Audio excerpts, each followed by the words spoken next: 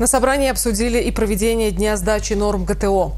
27 сентября принять участие в акции смогут все желающие, и глава Чебоксар Леонид Черкесов призвал депутатов проявить максимум активности.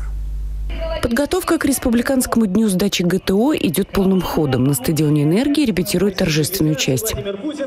Между тем, все чаще и чаще на глаза горожанам попадаются сотрудники республиканских министерств и ведомств в спортивной форме. Нет-нет, и дресс-код в Доме правительства не поменялся. Просто чиновники готовятся принять участие в спортивном тестировании. Сначала были сомнения, кто-то не хотел, кто-то под любым предлогом отлынивал, но после двух, трех, четырех пробежек народ стал говорить, как это здорово, как это приятно. И все вовлекаются в этот здоровый образ жизни, потому что, ну что греха таить, сидячая работа, она влечет за собой много явных и неявных заболеваний, и поэтому вот эта небольшая, пусть пробежка ежедневная, она э, сподвигнет нам в будущем, нас в будущем к здоровому образу жизни и к желанию быть здоровым. Это здорово.